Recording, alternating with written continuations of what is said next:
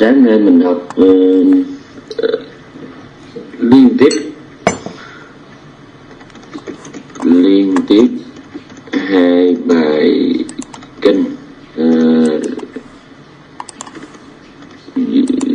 liên tiếp hai bài kinh đại duyên như mình nữa hai bài này nó có một nội dung. Có cùng nội dung.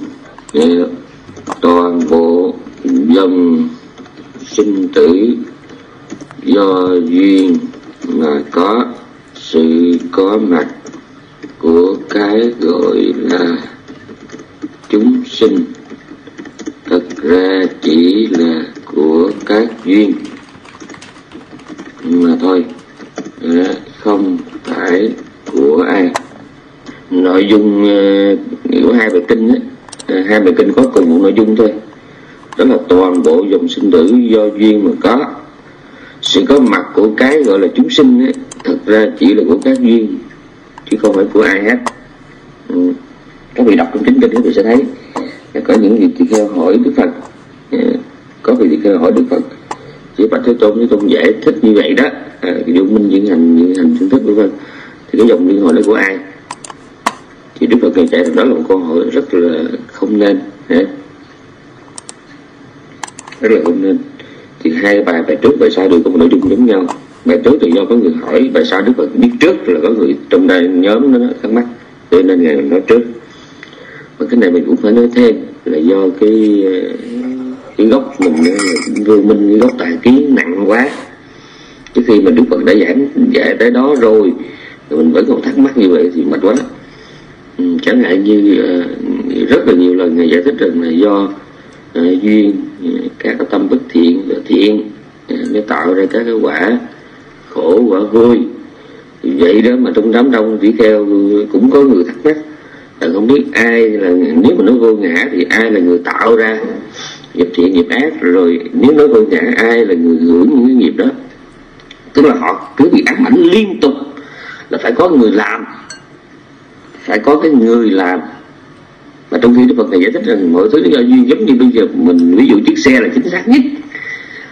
Tức là chính vì mình nghĩ có chiếc xe đó thì mình mới có cái tham chấp ở trong đó. Ừ.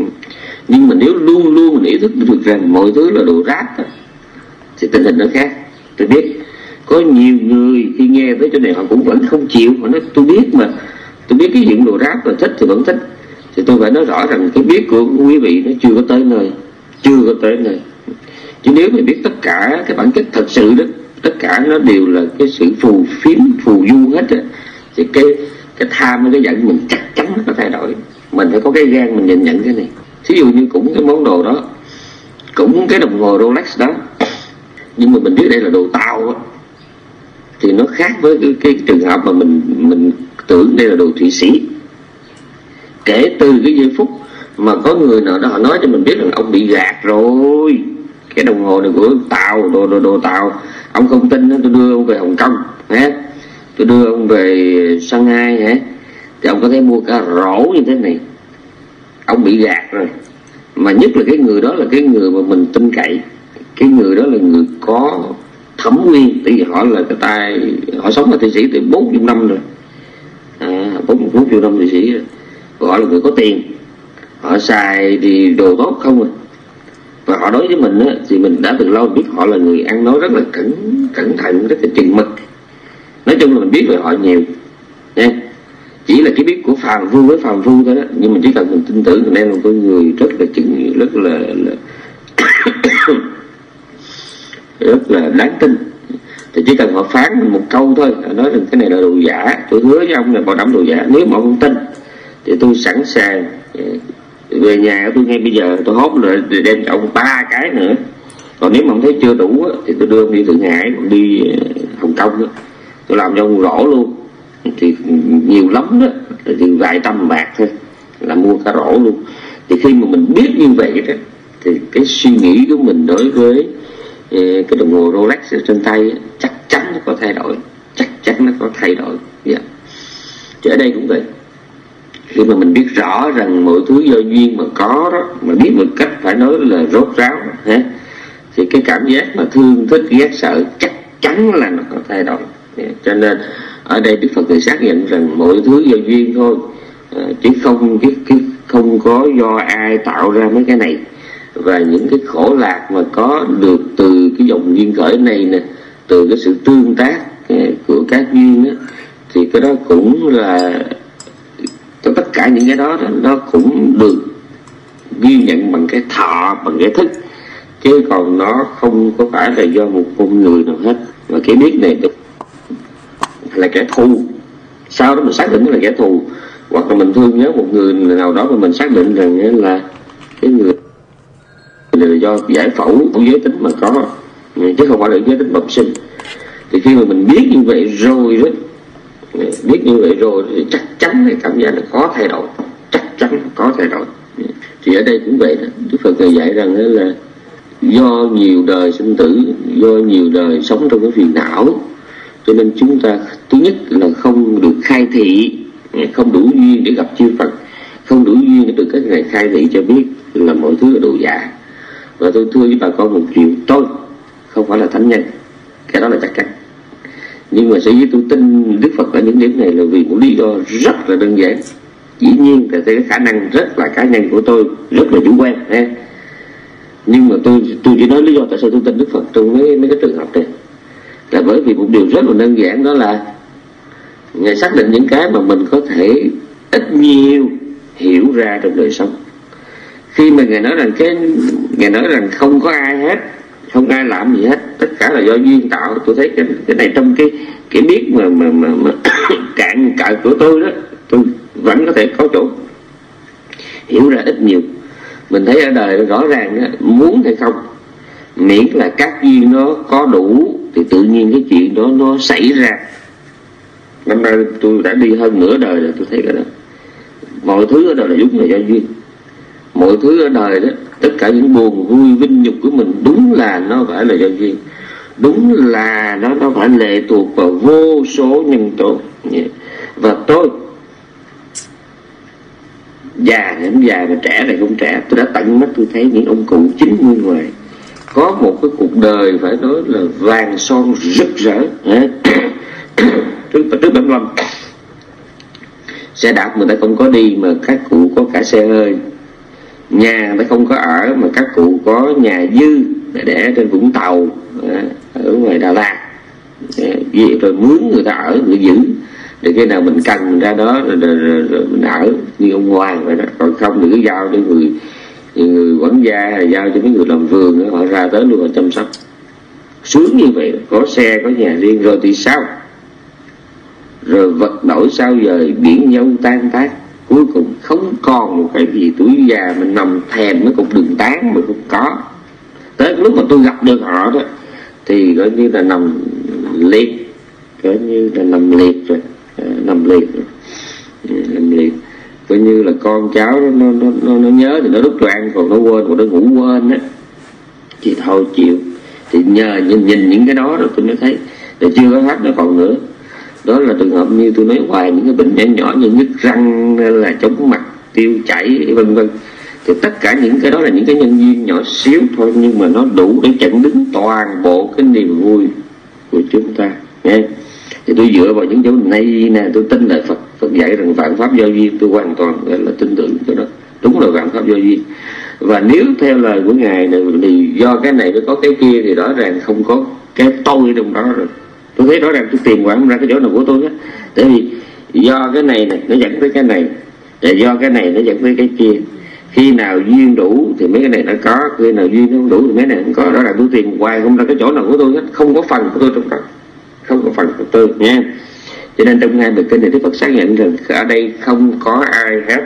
Tất cả là do duyên.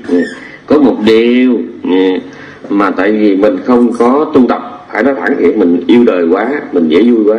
Cho nên lúc khổ á, thì chạy về với Phật. À, chạy về với Phật lắng nghe Phật à, học lời dạy của Phật. Tới lúc mà chuyện nó qua rồi đó thì mình quên sạch mình giống như một đứa bé vậy đó. Tức là là lúc mà bị phỏng bị đứt tay ấy, thì chạy về với mẹ với ngoại. À, rồi tưởng sao tới lúc mà nó lành lặn xong rồi là cũng nhào ra đi chơi tiếp không còn nhớ mẹ không còn nhớ ngoại đói mới về à, bị thương tích mới về. Xong rồi thì thôi ừ, đứa bé đó nó chỉ thật sự hiểu được những cái gì mà gọi là tấm lòng của mẹ của ngoại khi mà nó đã trên 18 tuổi. Chứ còn nếu nó là con nít thì nó vẫn tiếp tục nó dở cái trò đó. Có nghĩa là có chuyện thì nó chạy về. À, và chuyện qua rồi thì nó đi. Mình ở đây cũng vậy sở dĩ mình không có hết khổ là bởi vì một lẽ rất là đơn giản là vì mình không thật sự nhận ra một điều là mình đang sống trong khổ. Mình là một con cá, mình không ngờ rằng mình đang lội ở trong nước, nha. Mình không biết rằng bản thân mình nó là khổ và cái bối cảnh xung quanh mình nó cũng là khổ. Mà tại sao mình thích nó? Tôi nói hoài à. tại sao mình sống trong khổ mà mình lại thích nó? Là bởi vì có ba duyên thôi một là do cái nghiệp nó đời trước nó đẩy mình vào trong, trong cái nếp sống nào đó. Rồi tự nhiên mình phải thích cái này thích cái kia mình mới sống được chứ. À, mình là con tự nhiên cái nghiệp nó đẩy mình vô trong cái hàm phân thì tự nhiên là con giàu thì nó phải thích ăn phân. Đó. Mà cái ví dụ mà nặng nề mà khốc liệt này không phải của tôi mà ví dụ trong kinh nó Phật dùng đó cái Phật dùng cái, cái hình ảnh con giàu đấy phải là tôi. Cho nên này các tỳ kheo có những vị tỷ kheo được danh sinh lợi đắc cúng dường lễ bái của cư sĩ và những vị này nhìn quanh. Thế những bạn tu của mình không được như vậy thì sanh cái lòng kiêu ngạo cho rằng ta được mà họ không được. Này các tỳ kheo ta nói rằng cái niềm tự hào đó chỉ là niềm tự hào của một con dồi mà nó coi thường những con dồi khác đang sống trong một cái điều kiện không có phân không có phân người.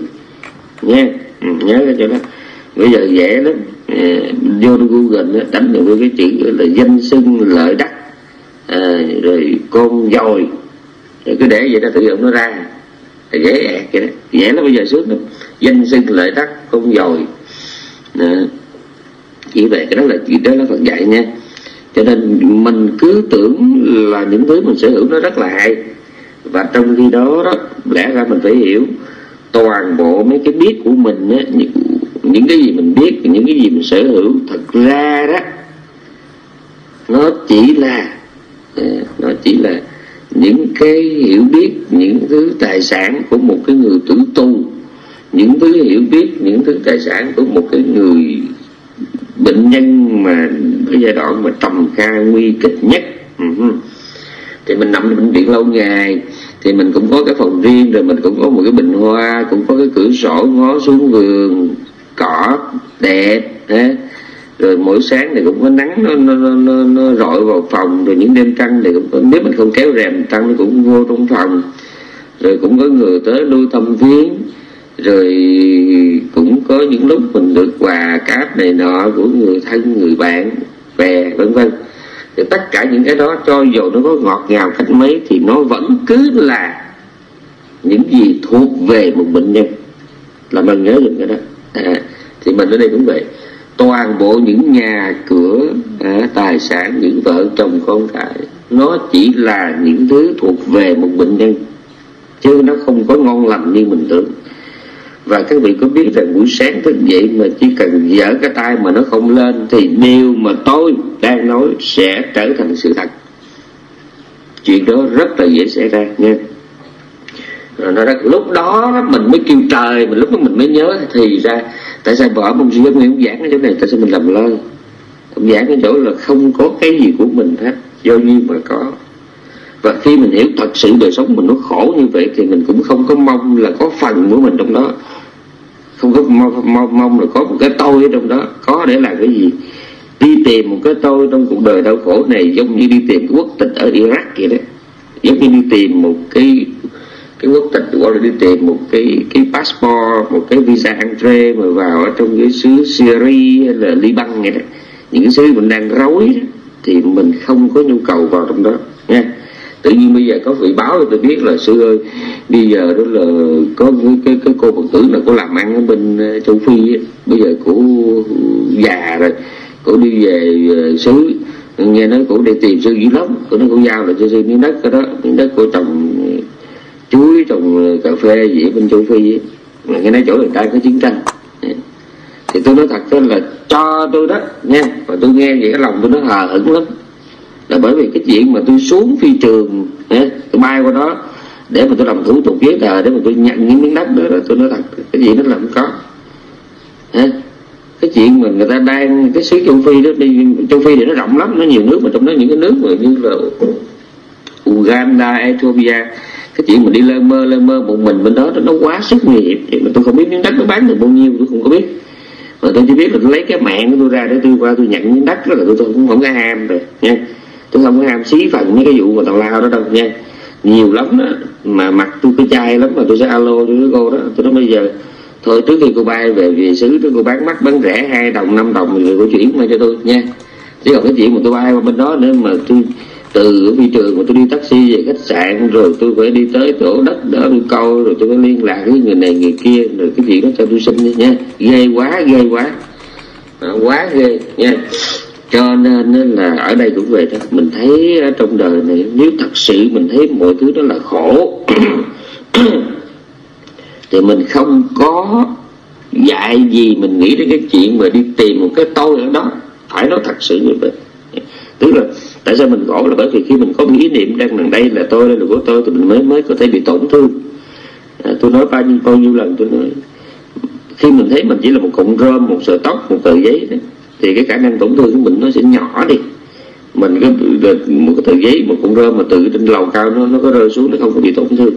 Nhưng mà khi mình thấy mình là một cái bình cổ ha thấy mình là một con người thấy mình là một cái nhân vật gì đó trong xã hội thì với cái trọng lượng đó, đó mình chỉ cần rơi xuống từ độ cao 3 mét là mình đã mệt rồi nha ừ. mình rất dễ bị tổn thương ừ.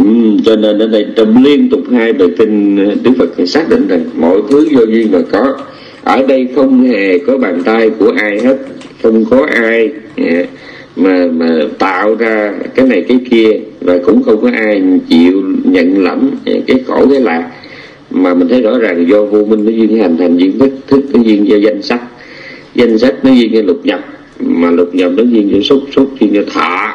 À, có vấn đề là cái thọ duyên cho thọ. Rồi từ thọ nó duyên cho ái. Thì tôi nhắc lại tại sao ở đây người không nhắc đến tâm sắc bởi vì lý do là người ta đang nói người ta đang nói cái dòng luân hồi nó được tạo ra như thế nào. Yeah. cũng giống như bây giờ ngài nói là tại sao mà con bị tiểu đường? Thì ngài mới nói rằng tại vì con thích ăn đường chẳng hạn hoặc là con không thích nhưng mà con vì cái lý do nào đó mà cái cơ thể của con nó không có khả năng đào thải cái chất đường nó không có tiêu tiêu hủy được cái chất đường. À, thế là nó đường nó, nó, nó trở thành cái cái sự có mặt của đường nó trở thành ra cái bệnh của con. À, do con nạp đường vô. Khi mà ngài nói như vậy đó mình sẽ cãi mình nói ủa con đâu có ăn đường không đâu con còn ăn mắm muối rồi con còn ăn đồ chua đồ đắng đồ ừ, cay nữa mà chứ đâu có chỉ có đồ ngọt không đâu. Ở đây là ngài đang nói riêng cái bệnh tiểu đường của mình thôi. Ngài chỉ nói vắn tắt là tại vì con ăn đường ăn đường nhiều quá nha. Thì bây giờ nó mới ra như vậy đó nha. À, thì ngài đang nhấn mạnh cái lý do tại sao mình bị tiểu đường. Chứ còn mình đi mình cãi với ngài mình nói là tại sao con có ăn ớt nữa mà tại sao mà ngài cứ nói nãy giờ ngài cứ nói con ăn đường là làm sao? Ừ, cảm ơn hiểu giùm cái đó ừ. cho nên ở đây đó là không có ai hết. À, đây ngài có giải thích thế này. Ừ. à, trong đây đúng là có đoạn Bali nè. À, có đoạn Bali nè. Ừ. À. Kassapana dân trà ừ, tí. Ừ, cái danh này là của ai? À, rồi cái Kassapana dân phao vô cái hữu này của ai? Rồi cái rồi cái Kassa à, na dân rồi cái là pha xa xa là lục nhập. Tức là cái cái lục nhập của ai số của ai thọ của ai đức phật phải xác định rằng nát canh lô banh hồ đây là một cái câu một cái câu hỏi rất là bậy. Canh lô là thích hợp đây là một câu hỏi không thích hợp. Bởi vì như lai đã giải thích quá rõ rồi. Như lai đã giải thích quá rõ rồi. Dạ, mọi thứ là do duyên. Nó là sự lắp ráp thôi. Nó là cái dòng chảy. Ở đây không có ai hết. Ừ. rồi xong hai bài kinh. Hai bài kinh uh, hai bài kinh do duyên vô minh rồi cái bài kinh tiếp theo là kinh nát tâm hát xuất bài kinh tiếp theo là kinh nát tâm cũng y chang như vậy. Cũng y chang như vậy. Ở đây đó là đức phật cái xác nhận rằng không. Ở đúng rồi. Ở trong chánh văn nó có một câu mà, mà, mà, mà tôi không có giải thích thì các vị cũng hơi ngờ ngợ cái câu cuối đoạn cuối cùng của, của cái bài bài thứ hai đó đoạn cuối cùng của của của của cái bài kinh do duy vô minh là sinh mạng và thân thể là một đó. Đó. Thì ở đây có rất là nhiều người trong đó có cả chúng tôi nữa. Chúng tôi từng nghĩ như vậy. Cứ mình nghĩ cái cục thịt này nè nó là sinh mạng của mình. Đó. mà sinh mạng của mình nó chính là của mình. Đó, nói chung là mình đánh đồng mình đánh đồng cứ nghe là mình coi toàn bộ nguyên cái cái khối này nè cái tâm tình buồn vui hả? Thiện ác này nè xương thịt nè tâm thức này nè mình gom chung nó thành một khối ha gom chung nó thành một khối. Đó là khi mà mình vui á mình thấy vui thì tự nhiên mình thấy cả cái tất cả cái gì đó thuộc về cái này nè là vui. À, con người này đang vui. Tôi sáng nay tôi vui quá. À, nhưng mà thật ra đó thì không phải như vậy. Vui ở đây nó chỉ có là mình cái tâm sở thôi. Đó xin lỗi nó chỉ là là, là, là thọ quẩn đó tức là tâm sở đó, thọ nó chỉ là cái thọ thôi. Còn toàn bộ những cái khác nó không có vui. Nó biết cái gì mà nó vui. Nó chỉ có cái bộ phận đó thôi. Nó chỉ có cái thọ quẩn đó là chỉ có tâm sở thọ đó. À, là cái vui vui là buồn nó nằm bên đó đó. Cái cái cái cái, cái thọ ưu thọ xả thọ khổ nằm bên đó nha. Chỉ có nằm bên đó thôi. Còn cái phần còn lại là nó không biết gì hết. Dạ, ví dụ như, như mình nói là, là, là à, hành thiền rồi giữ giới rồi nghe pháp quan nghĩ quá rồi hoặc là tôi giờ tôi sung sướng quá bây giờ tôi tiền của nhiều quá tôi bây giờ tôi sống không có tôi ai hết rồi mình cứ cứ nói một chung chung như vậy đó thì mình thấy đời mình nó đáng sống thiệt nhưng mà nếu thật sự mình hiểu ra đó thì nó phải như vậy mình không thể nào mình coi gọi là sinh mạng mà không thể là một không phải. Mà nó là từng phần. Nó là từng phần danh ra danh sắc ra sắc trong cái danh đó, đó. Những cái gọi là khổ là ưu ủy xã nó nằm ở bên một cái là tâm, tâm sở thọ. À, tâm sở thọ. Cũng giống như trong cái máy ảnh chụp hình của mình cái nó máy ảnh máy ảnh mà thật ra đó nó chỉ có có đó có từng phần. Cái ống kiến mà nếu mà mình bị đẩy lại đó thì làm sao mình chụp hình? À, rồi không biết bà con có nhớ cái, cái tiếng Việt Nam mình đã ghi cái màn trọc trọc te ra màn trọc màn trọc tức là hai cái miếng thép mà đằng sau cái tức là ở ngoài mình cái cái cái có cái ống có ống kính lens cái zoom á. Rồi bên trong á là nó có hai cái miếng thép. Khi là mình bấm hai cái miếng nó sẹt qua sẹt lại sẹt qua sẹt lại đó để cho à, nếu mà cái miếng đó mà nó không có mở ra đó thì coi như cái mình không có chụp hình được. À, được chưa hết? Nếu mình chụp hình bằng phim thì bên trong phải có phim. Coi như đó là mình cứ tưởng tượng đó, mình cứ nói gọn cái máy chụp hình nhưng mà chứ thật ra không phải có nhiều thứ nó ráp lại và không hề có cái nào gọi là mắt chụp hình hết. À, nó phải do nhiều cái phần miếng kiến mà bị đẩy cũng không được. Cái màn trọc mà nó không có mở ra cũng không được. Ở trong mà không có phim thì mình cũng không có chụp được. Mà cái phim mà mình đem về mà mình rút ra ẩu quá mà ánh sáng lọt vô mình cũng không có hình đâu để mình coi nha. Mọi thứ nó là một cái sự lắp ráp. Mọi thứ nó là do duyên à, do duyên tạo. Ừ. nhớ cho nó và không có cái gì là một hết. Tôi đã nói hoài là không có cái gì là pure, là massive, không có cái gì là solid, không có. Tất cả nó là sự lắp ráp composition thôi. Ừ. rồi. Tiếp theo đó là bài không phải là của tôi cũng y chang như vậy. Cũng là ờ, ở đây thầy dạy này thân này phải được xem là do hành động, do sắp đặt, do sự cố ý, do sự cảm thọ trong quá khứ tôi xin chia buồn cho bà con. Nếu mà bà con đọc từ cái này mà trong bản Pali đó thì nó xuống vô cùng. Đó nghĩa là bú ra nát ní đăng cầm măng áp sang áp tay bú ra nát cầm măng. Rồi cái gì nữa? Burana Mi Đăng kìa. Purana Midang á tỷ Sang Khả Tăng. Đó, cái thành này đó nó được tạo ra từ cái nghiệp quá khứ. Ý đăng à, à, ý đăng cầm bằng với sự tăng. Nghiệp này cái thân này nè nó được tạo ra từ cái nghiệp quá khứ. Ừ. À, á phi sanh chi ta di tăng á tỷ sanh chi ta di tăng nó do mình đầu tư ừ, trong cái đầu đầu đầu tư là tức là invest investment á à, do mình đầu tư mà có. We đang đi dần. Cái này nếu nếu mà đọc bản tiếng Bali với bản tiếng Việt là nó khác nhau xà lắc. Là bởi vì cái we đang đi dần ở đây thì chú giải giải thích thế này. We đang đi dần thế đây có nghĩa là we đang đi ra quách thu. We đã dạ quy đi giá đây tức là bị ừ, bị ừ, bị nhận biết là cái gì đó bị nhận biết mà cái chữ này cũng có nghĩa là nền tảng của mỗi feeling. Yeah. có nghĩa là đời nếu mà dịch gọn cái này nè, là cái cái danh sách này này cái ngũ quẩn này được tạo nên bởi tiền nghiệp. Ha được tạo nên bởi tiền nghiệp. Bởi sự đầu tư của nghiệp à, là cái gì đó mà ta phải cảm nhận gánh chịu hết. Chỉ vậy thôi chứ không có gì hết. Ừ. cảm nhận gánh chịu. Ừ, vì đang đi dân đó pháp tăng có tôi pháp tăng là cần phải hiểu rằng nha ngũ quẩn này là được tạo nên với tiền nghiệp với sự đầu tư của nghiệp.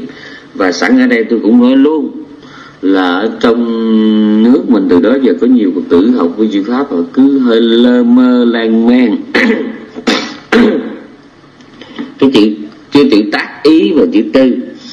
À, cái chữ tác ý đó thấy thì họ làm cái gì đó thì họ nghe mấy sư giải thích là cái này là do cô tác ý thôi do anh tác ý thôi nha cái đó tốt hay xấu là do mình tác ý. Thật ra nó, nó mình dịch lộn. Cái tác ý ở đây nó là manasikara là tác ý.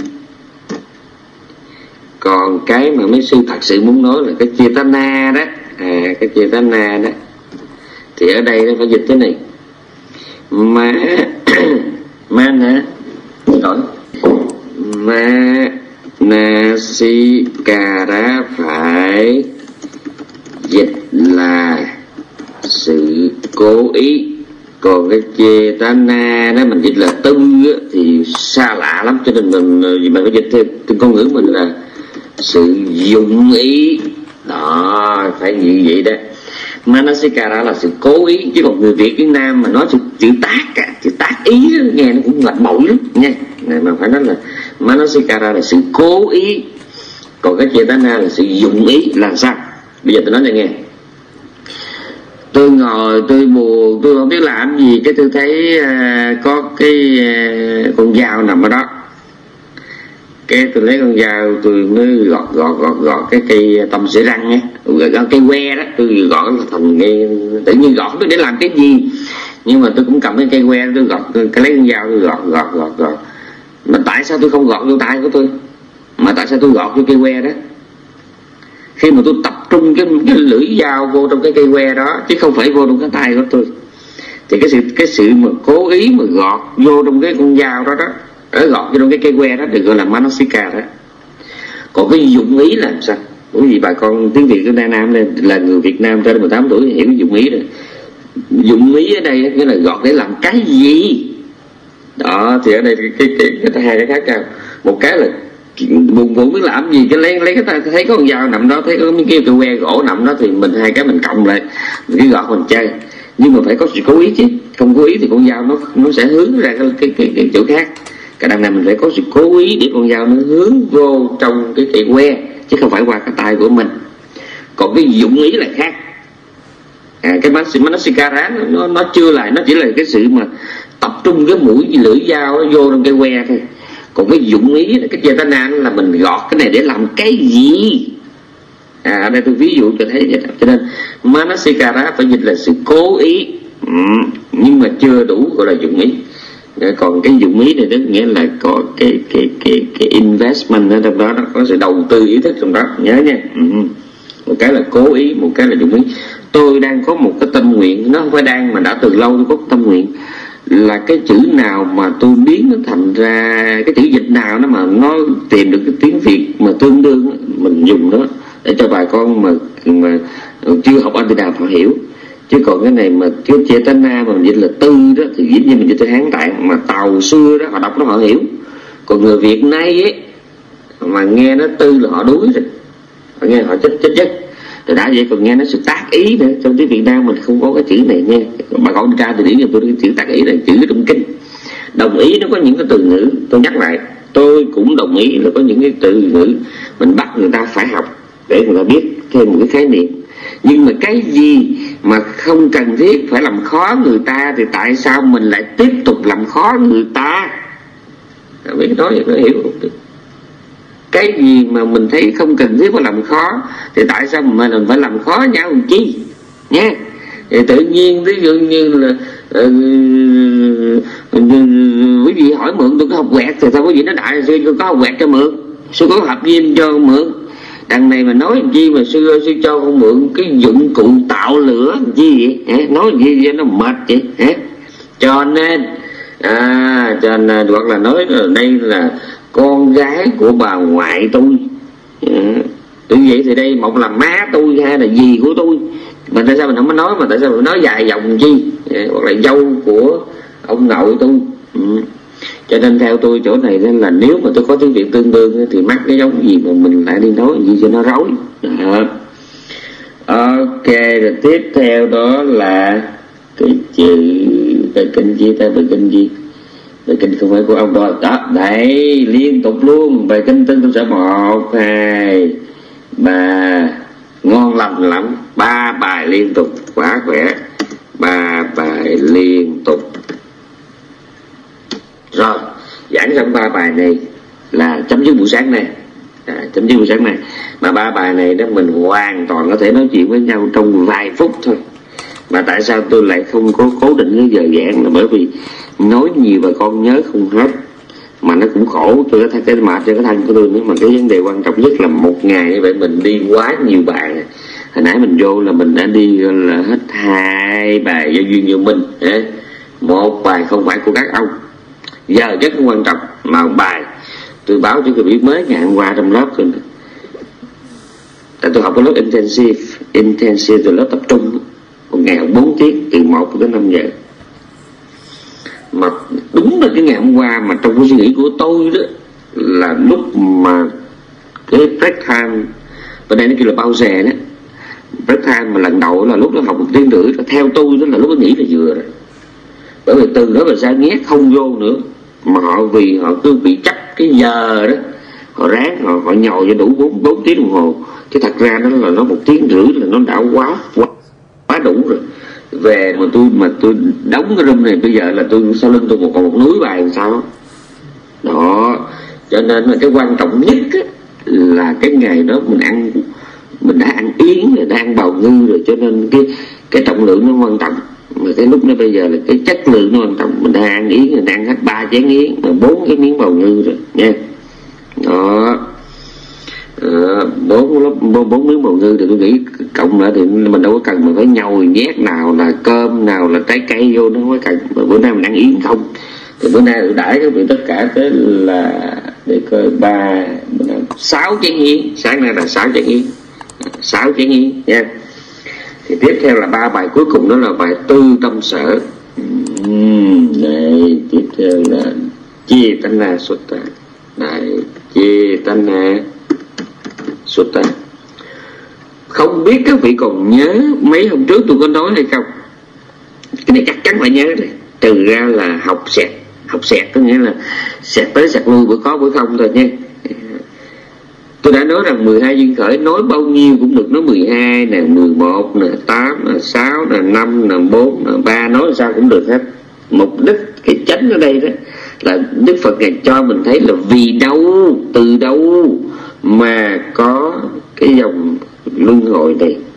Tùy người có người người nói rất là đủ vô minh duyên hành hành duyên thức thực duyên danh sắc người nói cho tới rồi là là là sầu bi của u não nhưng có những người người nói không có nhiều. Người chỉ nói một chút thôi bằng chứng có bằng chứng. Là mình thấy trong duyên khởi đó à, xin lỗi trong tứ đế chứ mình trong tứ đế đức phật thì đâu có nói nó vô minh trong đó. Nhưng mà mình phải hiểu nhầm là có trong đó. Là chỉ nói là mọi hiện hữu là khổ đó là khổ đấy. Sự thật thứ nhất ấy, là mọi hiện hữu là khổ. Cái sự thật thứ hai đó là tất cả các khổ đều đi ra từ từ ai? Các vị có nghe kịp không? Rõ ràng trong cái trong cái đế nếu mà nói trên chữ nghĩa đó thì không hề có cái gì vô minh trong đó hết không có. Yeah. Nhưng mà mình phải hiểu phải hiểu nhầm là có. Tất cả mọi hiện hữu là khổ. Đó là sanh là già đau chết sầu bi khổ não thương phải xa ghét phải gần muốn mà không được và nói gọn lại năm quẩn là khổ. Làm ơn xem là mình kinh nói giùm nha. À, cuối cùng đức phật nói là săn khích tê nó banh chứ ba đa nắc thanh tha đúc khà à, cuối cùng thì cái đó được nói gọn lại thì săn khích tê nó là briefly nói gọn lại săn khích tê đó trong cái này là trong kinh à, kinh cái gì đó ta? Kinh chữ lưng săn khích tê nó nói vắn tắt lại đó thì banh chứ ba đa đắc thanh thà đúc khà sự có mặt của năm quận thì gọi là là khổ. Rõ ràng mình thấy ở đây ngài nói về khổ đế là ngài nói gọn như vậy đó. Rồi cái tiếp theo mọi cái sự đam mê thích thú tham ái trong đời này nè mà nói gọn là, là ba thứ ha? dục ái sắc ái vô hữu ái sắc ái đời vô sắc ái hoặc là dục ái hữu ái phi hữu ái. Nói kiểu nào đi nữa thì mọi tham ái ở đời này nó đều là gốc của khổ rồi cái thứ ba, sự vắng mặt của cái này không biết còn nhớ không ta? Em còn nhớ em đã quên. Sự vắng mặt của khổ, của tập đế, gọi là hữu dư niết bàn. Sự vắng mặt của toàn bộ khổ đế. Phải thêm một cách triệt một cách triệt chi ta triệt chi? Gọi là một cách triệt để. Uh-huh, chỉ vậy thôi. À, sự vắng mặt của tập đế gọi là hữu dư niết bàn có nghĩa là một vị a la hán à, một vị a la hán chứng quả rồi nhưng mà còn sống. À, thì lúc đó là ở nhà là sự vắng mặt của tập đế thôi. Nhưng mà cái khổ đế thì còn bởi vì còn, còn có cái thân mà ừ. mai này ngày viên tịch ngày tắt thở ngày không còn sống nữa thì lúc đó được gọi là vô vô dư niết bàn chuyện nha. Phải nhớ cái đó nha phải nhớ cái đó. Ừ. mọi hiện hữu là khổ đây là sự thật thứ nhất. Sự thật thứ hai mọi cái sự đam mê thích thú là nguồn của khổ đây là sự thật thứ hai tức là khổ tức là khổ tức là tập đế. Cái sự thật thứ ba là sự vắng mặt của khổ và tập đó, được gọi là niết bàn à, rồi từ đó mình mới chia hai ra. Sự vắng mặt của tập không gọi là hữu dư mà sự vắng mặt của khổ được gọi là vô. Vô dư. Ừ. rồi cái cuối cùng là cái thứ tư. Có nghĩa là bác thánh đạo cái lý tưởng cái tinh thần cái nội dung của bác thánh đạo nó là con đường dẫn đến niết bàn. Mình thấy rõ ràng đây không hề nhắc gì tới vô minh hết. À, ở đây cũng vậy. Có người thì đức thế tôn nói rất là rõ vô minh duyên hành hành duyên tức tức duyên sắc là nó 12 cái. Nhưng có người là nó rất là đơn giản chẳng hạn như cái bài kinh này à, bài kinh này nó rất là đơn giản. Cái gì mà chúng ta tư niệm à, cái gì mà chúng ta sống bằng cái cái này dịch dịch lại nè. Cái gì được ta sống và hành động? À, có cái dụng ý. Cái đó đó ừ, làm duyên cho thức từ thức ừ, à, mới có. Để Bali vô cho nên cho nó sang à, trong cái Bali cái thành lớp từ thức mới có nghiệp hữu. Từ thức mới có nghiệp hữu có đã không? Từ nghiệp hữu mới có sinh hữu. Và như vậy là toàn bộ dòng luân hồi. Chỉ đơn giản như vậy thôi. Cái gì được ta sống và hành động có dụng ý cái đó làm duyên cho thức. À, mà từ thức thì nó mới có nghiệp hữu. Thì quý vị nhớ rồi thức ở đây đó là gì? Muốn biết thức là gì thì phải trở ngược lại hành. Đó. Tâm sở tư ở đây chính là chetana đó, chính là cái chetana chetana chính là chetana chetana là một cái ờ, bên tiếng anh nó dịch là cái evolution. Cái này ra cái này nó nó, nó tôi đang suy nghĩ tiếng Việt Nam mình dịch là sự sự sử dụng ý là đúng nhất. Cái chữ dụng ý là đúng nhất là tốt nhất. Volition đúng là, là, là chữ cố. Chính cái chữ volition là dịch sát. À, chứ đúng ra nó là cái chữ cái chữ là sự dụng ý là đúng nhất là tốt nhất. À, dụng ý dụng ý.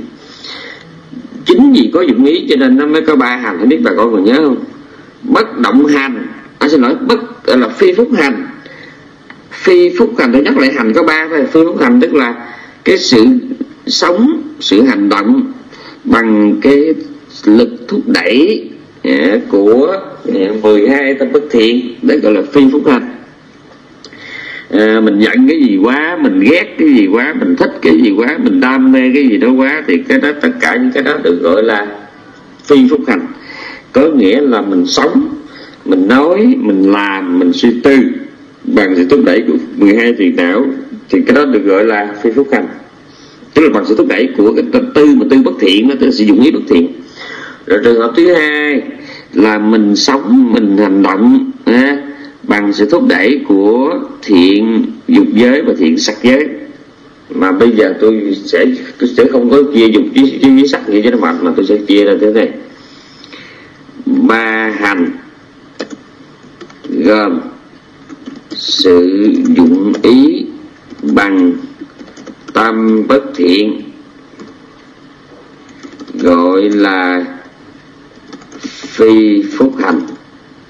Đó, rồi có loại hành thứ hai. Hành thứ hai là phúc hành, gồm sử dụng ý bằng tâm thiện hướng sắc đó cái tâm thiện hướng sắc. Để trong hướng sắc đó, đó nó mới gồm có cái dục giới sắc giới. Nhưng mà đó là khi nào cần giải thích. Còn không giải thích thì mình chỉ nói gọn thôi. À, cái hành thứ hai là phúc hành gồm sự dụng ý bằng tâm thiện hướng sắc. À, rồi cái thứ ba đó thứ ba đó là cái bất động hành. Bất động hành là sự hành động bằng dụng ý ông phải là cái dụng ý là dụng ý hành động được um, thúc đẩy bởi tâm thiện vô sắc giới. Chỉ vậy thôi à. Ba cái nhớ đi. À, một cái là phi phúc hành một cái là phúc hành và một cái là bất động hành. Thì cái phi phúc hành nó tức nghĩa là một những cái gì mình sống mình hành động mình suy tư mình nói năng mà bằng một cái sự dụng ý bất thiện. Ừ. còn cái phúc hành đó là sử dụng ý bằng tâm thiện hướng sắc. Ừ, hướng sắc này tức là tại mà tại sao tôi nói gọn bởi vì ừ, cho nó dễ nhớ. Chứ còn tự nhiên cái mình nói phúc hành gồm có thiện ờ, dục giới và sắc giới thì nghe nó hơi chứng chứng mà chính tôi ngày xưa tôi đã bị cái này. Tôi khó nhớ cái này. Mà mình phải nhớ là cái thiện phải liên hệ đến sắc rồi cái thứ ba đó bất động hành là cái dụng ý thiện. Được cái, cái là cái cái hành động thiện thiện mà nó được tác nó được thúc đẩy bởi cái dụng ý. Yeah. dụng dụng ý gì? Cũng là dụng ý thiện nhưng mà thiện vô sắc. Ừ, nhớ cái đó. Ở đây đó ở đây toàn bộ dòng luân hồi được mô tả ngắn gọn qua công thức như sau. Đó, do có sự dụng ý, mở hoặc đơn, chê ta na ha dụng ý thiện ác, nên mới có nghiệp thức tốt xấu. Mở hoặc đơn cái nữa. Nghiệp mở hoặc đơn cái nữa. Tâm thiện á thì dẫn đi tâm thiện là nghiệp thức thiện tức nghiệp hữu thiện. Cái là nghiệp hữu đó à, tâm ác là cái nghiệp thức ác. Tức nghiệp hữu ác thì nghiệp hữu nó có hai loại ha nghiệp hữu có thiện có ác. Ừ có nghĩa là tôi nhắc lại cho những người không học Abhidhamma này. Khi mà quý vị có một cái tâm bất thiện nó xuất hiện trong đầu quý vị đó thì cái tâm bất thiện đó, đó được gọi là nghiệp hữu. Chính cái tâm bất thiện này nè nó được gọi là nghiệp hữu. Và chính đó khi mà nó xuất hiện như vậy thì nó đã âm thầm và kín đáo tạo ra một cái tâm tái tục một cái tâm đầu thai cho mình ở một kiếp sau nào đó. Tại sao tôi nói nào đó? Là bởi vì nếu mà nó mạnh đấy thì nó sẽ tạo ra cái tâm đầu thai ngay kiếp sau nhưng mà vì trong vô số kiếp mình đã có quá nhiều nghiệp thiện ác rồi cho nên cái trước mắt nè cái, cái kiếp này nếu mà mình tắt thở rồi thì mình rất có thể là mình sẽ đi về một cảnh giới nào đó theo cái sự thúc đẩy của tiền nghiệp mà mình đã tạo từ 8 triệu năm về trước từ 40 kiếp về trước. Thí dụ như vậy đó ha. Cho nên phải nhớ cái đó phải nhớ chỗ này. Tại sao mình phải học cái này? Mình đến biết là cái gì? Cầu an cầu siêu nó rất là mong manh, rất là mơ hồ là bởi vì tôi nói lên lần nữa.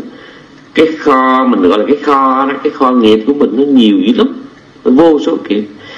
Cái chuyện mà kiếp này mình tu hành thiền định giữ giới đó, thì nó quý lắm, đúng nhưng mà thật ra đó, cái nghiệp của đời này đó, nó chỉ là một phần rất là nhỏ so với cái cái núi không phải cái kho nó mà so với cái núi cái núi tiền nghiệp của mình trong nhiều đời. Nhớ nha phải nhớ chỗ này. Cho nên là có hiểu được chỗ này mình mới biết tại sao có cái tích con rùa mù á. Phải cái tích là cái ví dụ con rùa mù mấy trong linh còn nhớ con cái, cái, ví dụ con rùa mù có nghĩa là đức phật này dạy có một cái tấm ván mà nó trâu trong biển vậy cái này bà con bắt buộc phải nhớ. À. rồi rồi rồi, rồi trên tấm ván nó có cái lỗ rồi con rùa mù nó gần trăm năm nó mới chọt cái đầu nó lên nó nổi lên một lần nó bằng vào một cái sự mà hãn hữu cái random nào đó mà nó chung vô một cái sự ngẫu nhiên nào đó mà nó chung cái đầu, nó vô cái lỗ nó được thì Đức Phật dạy rằng đây là một cái sự ngẫu nhiên, một cái sự trùng hợp mà rất là hiếm thôi cái xác suất, cái possibility nó rất là thấp. Ừ. thì ở đây đó, cái cái chuyện mà một cái người mà sanh được làm người nó khó vô cùng. Và đó tôi tưởng là ngày dọa mình mà thật sự nó đúng. Là vì nhiều lý do lắm. Thứ nhất là trong một ngày đó mình mang cái thân người nhưng một ngày mình sống bằng cái tâm con thú không à. tham lam sân hận si mê tham đói ăn khát uống đực cái trong mái rồi phản ứng tự vệ nói chung là mình không biết đạo đó là mình sống trong một ngày toàn tâm con thú không Đấy.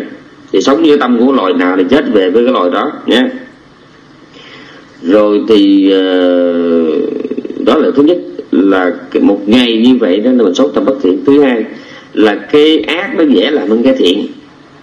Nó dễ làm hơn. Cái người ác cũng dễ kiếm hơn người hơn cái người thiện. Bạn ác bạn xấu nó dễ kiếm hơn bạn lành. Cho nên trong vô số kiếp quá khứ đó là cái vốn liếng mà bất thiện của mình nó, nó nhiều vô số kể nha rồi cộng với cái đời sống hiện tại của mình trong một ngày đó là tâm thiện nó chỉ là một mảnh vụn nhỏ xíu so với một núi bất thiện mỗi ngày đó, nha. Thì cái quá khứ ờ, và rồi cái hiện tại của mình là toàn là vậy không? Bất thiện nhiều lắm, nha. Cho nên cái chuyện mà mình mà quay trở là làm người nó thấp vô cùng. Nhưng mà nói như vậy mình cũng có một cái niềm tin chứ không phải nói như vậy rồi mình tuyệt vọng. Thì tôi hỏi các vị hỏi tôi tin cái gì thì tôi tin cái này. Thì trong kinh có nói cái này là cái chánh pháp đó là khó gặp chánh pháp thì là là quy luật vũ trụ được muôn đời nằm ở đó rồi. Nhưng mà sẽ người ta nói khó gặp đây có nghĩa là mình khó có dịp để mình nghe đó. Vì không ai nói cho mình biết hết nha. Giống như những cái công thức toán học á, thì nó có sẵn muôn đời trong vũ trụ. Nhưng mà đâu phải đời, đời nào thời nào nhân loại cũng biết đến không phải thời nào nhân loại cũng có sở hữu được một cái nền tri thức về toán học và đồ sộ hoành tráng như bây giờ đó nha. Mặc dù cái đó nó có sẵn thì ở đây cũng vậy. Cái chuyện mà mình gặp được Phật mình nghe pháp nó hiếm đi lắm cho nên trong kinh, trong chú giải mình giải thích cái chữ Ratana là tam bảo là Phật bảo pháp bảo và tăng bảo. Ba cái ngôi báo được gọi là quý hiếm là bởi vì không phải dễ gặp. Và không có thứ châu ngọc nào đem lại lợi ích cho người ta bằng tam bảo hết. Cho nên tam bảo được gọi là của quý. Thứ hai, cái kẻ nào mà có duyên, có đức tin, có chánh kiến mà gặp được tam bảo thì kẻ đó công đức phải như thế nào đó? Nhờ đọc cái chỗ này mà tôi rất là rất là mừng, rất là vui, nha. Trong kinh nói giữa vùng biển, chúng sanh bao la, mênh mông vô tận. Thế mà có người đó là biết tìm đến Phật pháp dầu một cách vô tình hay là cố ý. Nhưng mà bằng cách nào đó mà họ được đến với Phật pháp, họ có được chánh kiến, thì cái hạng người này, cái khả năng sanh thiên, cái cái khả năng mà quay đó lại làm người, làm trời đó, nó cao hơn những loài khác. Là bởi vì họ phải là một người có phước báo nhiều kinh khủng lắm, nha. Đây là một cái niềm vui cho chúng ta. Ừ cái là không phải là mang thân người là giống nhau. Cho dù các người ta có là tỷ phú nhưng mà người ta không biết chánh pháp. Và đức phật đã xác định một điều lần này các tỷ kheo cho dầu cái ngôi vị chuyển lưng thánh vương ha, đế thích ha, thì cũng không bằng một phần nhỏ xíu của vị tu đầu quần nữa. Kinh hoàng như vậy là vì sao? Là vì những vị đó, đó là cái dòng luân hồi của vị đó nó bất định bấp bên nhưng mà riêng đối với một vị tu đồ quần thì nó cố định. Bây giờ mình không phải là tu đồ quần nhưng mà trong chú giải nói mà đủ thích đó là chánh pháp, pháp khó khó được có dịp để nghe. Phật khó rất có dịp để mình gặp. Tăng bảo và tăng thứ thiệt cái nghe chứ còn mà không còn còn thứ dở mình mới nói. Thứ thiệt là thánh tăng. Nói chung là tam bảo và thứ thiệt cái này không phải dễ gặp. Mà kẻ nào giàu không gặp đủ nhưng mà gặp được một một trong ba bảo này đó là kẻ đã phải là một người có phước lớn kinh khủng đó. phải nói là kinh khủng có vị thứ tưởng tượng đi, mù mình không biết Phật pháp, mình không biết mình là ai, ở đâu mình tới, mình sẽ đi về đâu, và bây giờ mình phải làm cái gì? Chỉ biết đi làm để sống sống để đi làm. Đàn bà để biết nuôi chồng nuôi con, đàn ông là chỉ biết nuôi con, nuôi vợ. Chỉ biết bao nhiêu đó suốt một cuộc đời. Rồi đến một cái tuổi nào đó, rồi bán thân, mất tội, bị stroke, nằm liệt nước miếng, mồm chảy tùm lum miệng bị méo rồi cặp mắt rồi là đời ăn nói thì ngọng nghịu rồi cứ ngồi chờ người ta đem tôi chôn chứ làm gì vậy? Mà cứ hết đời này qua đời khác nái tìm kiếm tiền bạc tìm kiếm danh phận đủ thứ hết ha rồi cái để đến một lúc nào đó không lẽ giờ tôi đi tôi chỉ nói rồi đầu tôi tính không nói tên nhưng mà thôi bây giờ phải nói thiệt luôn. Đó nhưng trong đời tôi, tôi có những cái nhân vật mà tôi nghĩ rằng quý vị nghe là quý vị lạnh nhân sống. Ngày hòa thượng thích hữu giác. Ừ. tiến tâm một thời thuyết pháp với chùa kỳ viên là xe nó kẹt tới ngã bảy. Thuyết pháp mà chùa tam bảo đà nẵng là xe nó kẹt tới nguyên một quãng đường ờ, ban du trình à. rồi thì sao? Cuối cùng, ngồi đâu đau đó. Hòa thượng thích minh châu một thời lưng lẫy, rồi cuối cùng về già cũng stroke ngồi xe lăn. Hòa thượng thích quyền vi rồi cuối đời cũng là khô me, nằm một chỗ. À. đó là những nhân vật mà mình biết. Còn bây giờ mình thấy trước mắt là hòa thượng nhất hạnh à rồi tiếng tâm lừng lẫy là nominated, được đề cử giải Nobel hòa bình đó chứ. Một người bạn của ông Martin Luther King đó chứ. À. rồi cũng là một nhân vật cũng làng hồng, làng mai, tùm lum hết. À. rồi hôm nay, rồi thì sao? Bây giờ hòa thượng coi như là leo lét. Sức khỏe hòa thượng bây giờ cũng đang vẫn ở trong một cái tình trạng leo lét. Mà tôi mới kể thì sao chứ còn chưa. Bây giờ mình trong nước mình còn hòa thượng nào? Hòa thượng hòa thượng thích thanh từ nhé hải ngoại thì còn hòa thượng thích tâm châu tức là trước mắt là mình thấy có các có ít nhất là mình thấy có bốn vị hòa thượng mà tiến tâm đó là mình thấy sắp sửa rồi đó. Đó là hòa thượng trí quan trong nước hòa thượng trí quan hòa thượng thanh từ à, rồi ở hải ngoại thì có hòa thượng ờ, giác nhiên rồi hòa thượng tâm châu à, thì bốn vị này tôi nghĩ rằng là họ biết khoát là sao tôi trù ai dám trù nhưng mà bây giờ mình có quỳ mình lại các vị đó tôi cũng không tin là là, là, là 10 năm tôi không tin chúng tôi hòa thượng trí quan ấy ờ, à, hòa thượng giác nhiên hòa thượng tân từ hòa thượng tâm châu tôi không tin là 10 năm tới vì các vị này bây giờ đó là trẻ nhất trong đó là hòa thượng giác nhiên là năm nay đã 80 ngoài rồi. Còn các vị kia là vị nào cũng mới bước lên hàng chính hả? Thì, thì ờ, bây giờ nó, nó, nó đời nó phủ phàng ở chỗ là bây giờ chỉ cần các vị mà xuôi tay một cái ha thì đệ tử muốn thì đệ tử nổ đệ tử khoe đệ tử vẽ đệ tử tùm lum hết. Chứ thằng cái bản thân các vị là xong rồi đó. Họ đã đi mất rồi họ đi đi theo cái nghiệp của mình chứ và tha căm mu và các trong kinh có cái chữ này. Chữ này chữ ngậm ngùi. Khi mà đức phật mà ngài ngài kể rồi cái câu chuyện xưa xong rồi ngài mới kết thúc. Sau khi mà ta, tức là bồ tát sau khi bồ tát đã nói như vậy với ông vua ờ, rồi trở về nhà của mình sống một đời riêng tư, và cuối cùng thì giác tha căm mu và gô hô và đi theo nghiệp của mình cái câu đối với tôi ngậm ngùi lắm. À, cái kết thúc câu chuyện này để ngày, ngày ngày kết thúc bằng cái câu như vậy đó. Và sẽ bồ tát quay về với đời sống riêng tư của mình và cuối cùng thì giác tha căm mu và bồ hô sẽ đi theo cái nghiệp của mình. Chứ ngày không nói rõ là đi đâu nhưng mà mình phải hiểu ngầm là coi như đi xuống là chủ yếu rồi đó. Cái chỗ đó mình bắt buộc phải hiểu như vậy thôi. Cái dòng lương hồi mà giác tha cầm mu và gái đi theo cái nghiệp của mình. Ờ, giáp tha tâm mát là cái nghiệp nó như thế nào là upaga lại đi theo đó như vậy. Ừ, Giác tha tâm mu đi theo cái nghiệp của mình. Uhm. nhớ như vậy cho nên cái luân hồi ở đây mình nói tắt nói gọn thôi. Nói gọn thôi có nghĩa là do cái dụng ý do cái dụng ý cái cái cái cái cái cái intention cái intention của mình đúng rồi cái chữ này cái chữ này đó thì thì thì tôi thích hơn là, là cái chữ volition. Nha cái intention hoặc là cái intended intended chữ này tôi thích hơn. Cái chữ này này chữ chetana dịch là chữ intention hay là cái chữ intention đúng hơn là sử dụng ý. Ừ, cái này là cái sử dụng ý. Cái dụng ý mình mình nhắm tới cái gì? Mình nhắm tới cái gì thì cái đó đó. Thì có ba dụng ý. Dụng ý thứ nhất là dụng ý bất thiện. Cái dụng ý thứ hai là thiện cấp thấp và cái dụng ý thứ ba là thiện cấp cao. Uh-huh. chỉ vậy thôi chứ không có gì hết. Ừ, cái nó nên nói hôm nay thì cũng được chứ còn nó phi phúc hành bất động hành thì dành cho cái người học Atidam professional ha. Còn trường học như mình cái thứ mà dốt dốt dốt mình cứ nhớ nhiều thôi. Nhớ là tất cả chúng sanh trong đời này hành động chỉ có hai thôi. Một là hành động bằng cái dụng ý thiện hai là dụng ý bất thiện. Rồi mình hiểu nhầm nữa là trong cái dụng ý thiện nó cũng có nhiều cả, dụng ý cao cấp rồi có cái kiểu là thấp à, cao cấp và hạ cấp nhưng mà dù dụng ý thiện hay hát cao hay thấp thì cuối cùng nó vẫn là một sự quẩn quanh nha. Nói nôm na nó giống như trong ngôi nhà đang cháy thì dầu cho mình ở trên nóc nhà hay là mình ở mình chung dưới sàn thì cũng là trong ngôi nhà đang cháy thôi nha. Dạ, nhớ nhớ chỗ đó. Cho nên cái quan trọng ở đây là chính từ cái dụng ý nó mới dẫn đến cái nghiệp thức tức là cái tâm tức là, là nghiệp hữu đó. Ừ uh-huh. trong chú giải bên rõ là cầm mắt nguyên nhà đó cầm nguyên nhà đó là nghiệp thức. Chetana dẫn đến cầm á nguyên nhà đó rồi cái cầm á win nhà nè một đời. Nghiệp thức với cái chữ này mà nếu bà con nhớ được cái Bali hay lắm.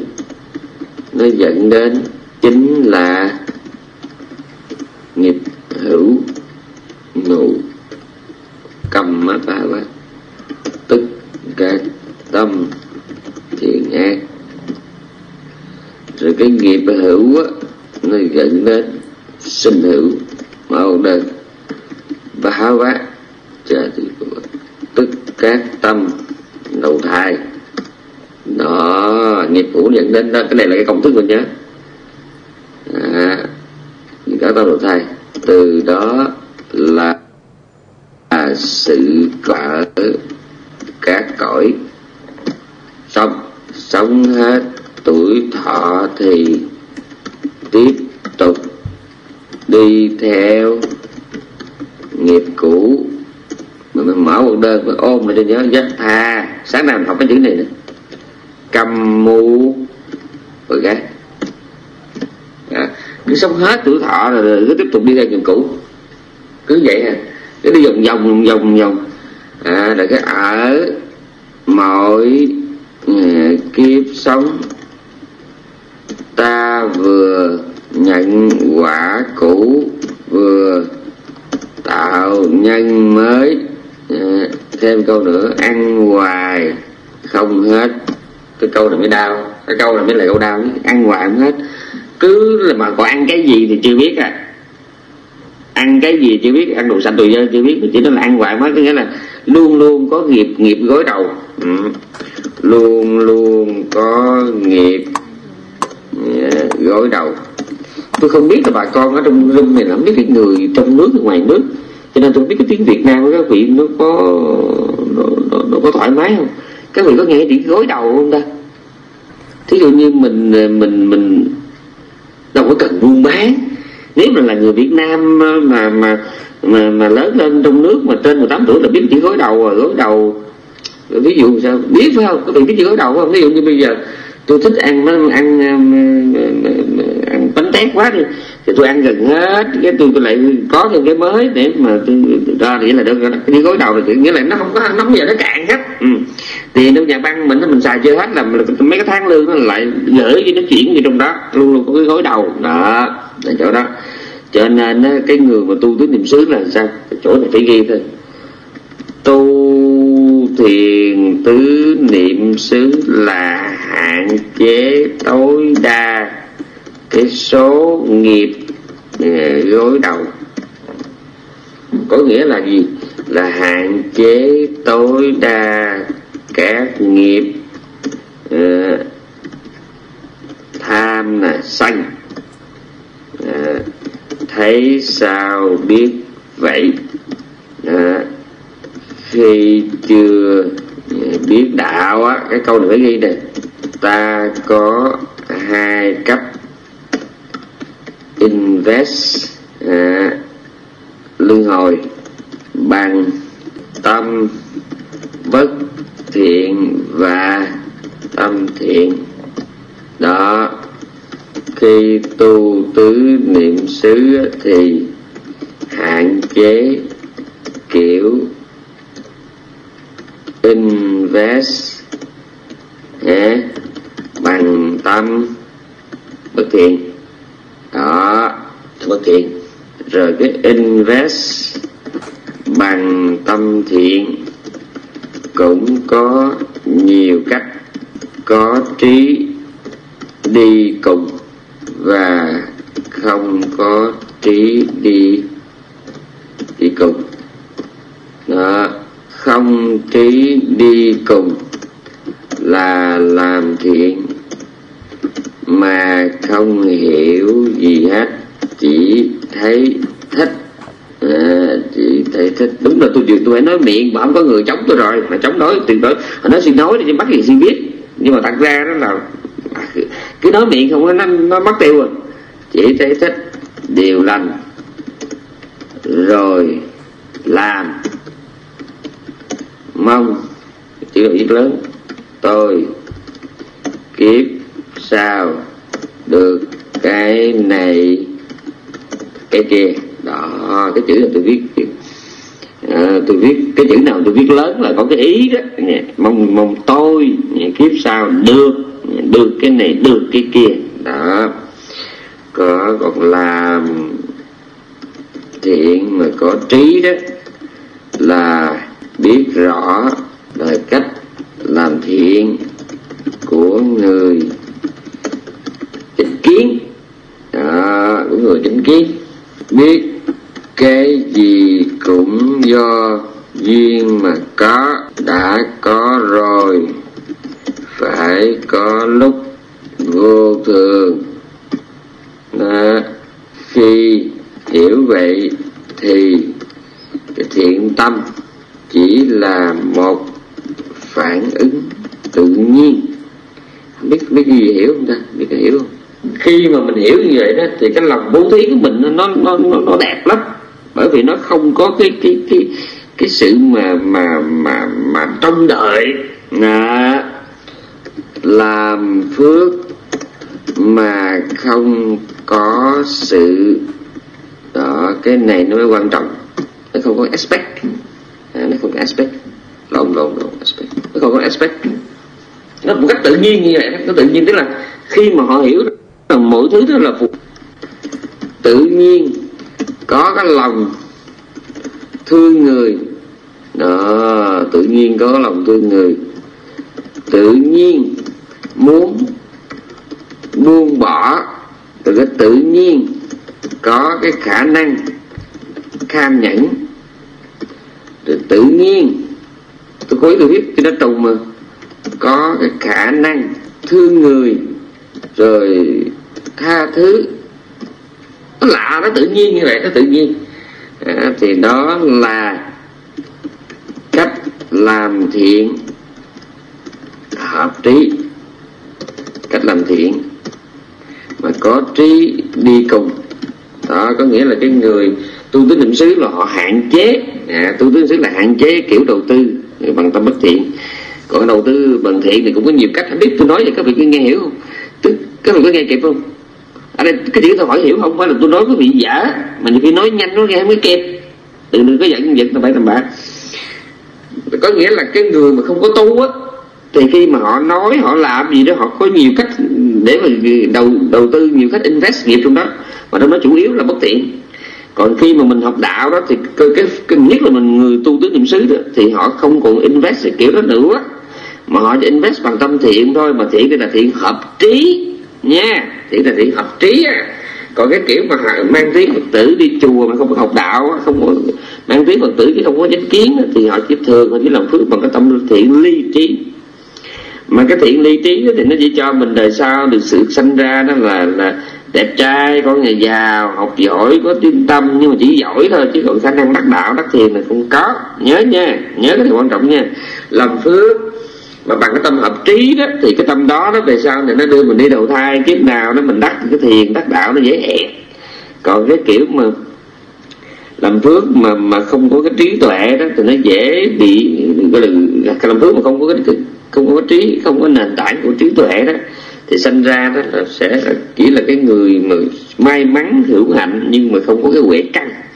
Người ta kêu huệ căn á huệ căn hay là cái ngộ tánh ở một người là do đời trước làm phước bằng tâm hợp trí. Nhớ cho đó. Ừ, cái huệ căn hay là ngộ tánh đó cái khả năng mà hiểu được cái Phật pháp à, là do cái, cái đời trước lòng phước bằng tâm hợp trí. Có nhiều người đó là mình có quỳ mình lại họ cũng không hiểu. Nghe cứ nói hoài mà cứ, cứ nói là vô ngã như vậy thì ai tạo nghiệp? Vô ngã thì ai mà chịu hưởng cái quả vui quả khổ? Ai? Mà mình đã nói là không cần ai. Không cần ai chỉ cần mọi thứ nó đủ duyên thì ví dụ như nó có thì như bây giờ hỏi cái, cái gì mà hưởng lạc hưởng vui hưởng buồn ở đó là thọ đó là thọ. Đó là thọ quẩn đó. Người mình vợ chúng sanh nó gồm cái năm quẩn sắc thọ tử thành thích thì sắc. Ở đây đó chính là cái gì nó thuộc về vật chất cái tấm thân của mình. Còn thọ đây tức là cái khả năng mà cảm nhận ừ, ừ, khổ lạc ở quỷ xả cái feeling của mình. Đó là thọ. Còn tử quẩn có nghĩa là cái cái perception của mình perception, perception của mình. Gọi là cái experience tức là những cái nhận biết nào mà nó y cứ vào cái kinh nghiệm quá khứ đó thì đó được gọi là tưởng ví dụ như tại sao mình biết nó là đàn ông đàn bà? Tại sao mình nhìn biết là đàn ông mà mình không nói là đàn bà? Tại sao mình biết nó màu đen chứ không phải màu trắng? Tại sao cái đó mình nghĩ đó là vuông mà không phải là tròn? Cái đó dài mà không phải là ngắn cái đó cao mà không phải là thấp. À, cái đó nóng nhưng phải là lạnh. Tại sao vậy? Cái đó là tưởng quẩn. À còn hành quẩn là gì? Hành quẩn chính là cái khía cạnh thiện ác trong tâm hồn của chúng sinh. À. còn thức quẩn là gì? Thức quẩn là cái biết đơn thuần của các cái giác quan. À, phải dùng mắt thấy tai nghe đó thì đó được gọi là được gọi là thức quẩn. Như vậy thôi. Thì năm cái này nè à, chính năm cái này là nó làm nên cái gọi là chúng sinh và trong đó mình gọi là buồn vui là do cái ông thầy thọ quẩn của mình đó, chứ không ai đó. Mình cứ mắc cái tiếng gì mà cứ nghe như cái ngạc nhiên. Giống như mình nói, không có cái gì là xe đó, toàn đồ ráp không mình toàn là mấy cái cái đồ phạt riêng nó ráp lại, mình nghe vậy mình thắc mắc nữa nếu mà không có chiếc xe mà toàn đồ ráp không vậy thì cái gì nó chạy trên đường? Tôi phải tưởng tượng đi, tôi phải tưởng tượng đó là một câu hỏi của nó có thông minh không? Khi mình nghe người ta nói là chiếc xe thật ra nó chỉ là đồ phạt, ghép lại thôi chứ không có gì hết. Thì mình thắc mắc, nếu mà ông nói như vậy đó, thì cái gì nó chạy trên đường? Thì nó thì đó là chiếc xe. Ủa? Còn nói ông nói chiếc xe là đồ ráp, đúng. Nó ráp thì sao khi nó ráp xong nó cũng là chiếc xe, thì nó chạy trên đường được mà. Vậy mà họ cũng không chịu. Ừ. họ bắt là phải có một cái tôi. Phải có cái tôi để đi từ kiếp này qua kiếp khác là mới chịu. Ừ rồi, như vậy thì ba bài liên tục nha, cái cái cái cái ba bài liên tục luôn, nói về cái tâm sở tư đó. Đó là, tức là ở ba bài này, đức phật nhấn mạnh vai trò của hành. Đó, nghe kể bằng nhấn mạnh vai trò của hành. Thay vì là vô minh nè, ái nè, thủ nè à, thay vì là vô minh. Nhưng mà cũng có chỗ. Ừ, ở đây thành nhớ nhưng chỗ khác tùy theo căn cơ người người chia ta người đối diện ngài sẽ nhấn mạnh vai trò của vô minh hoặc của ái hoặc của tứ thủ. Nhớ nha tùy tùy cái cái cái căn cơ của người đối diện mình là nhấn mạnh cái gì để bà con nghe hiểu không ta tùy cái căn cơ tùy cái căn cơ của người đối diện.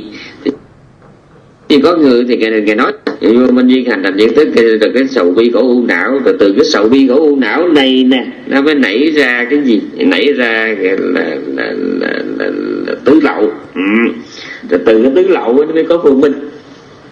Không phải là mới có mà từ mà tứ hào lậu nó chính là vô minh thì có vô minh lậu trong đó ha dục lậu hữu lậu kiến lậu vô minh lậu à, thì từ đó cái lại vô minh. Thì phải nói cho nghe rõ như vậy họ mới chịu chịu chịu chịu chịu chịu hiểu à.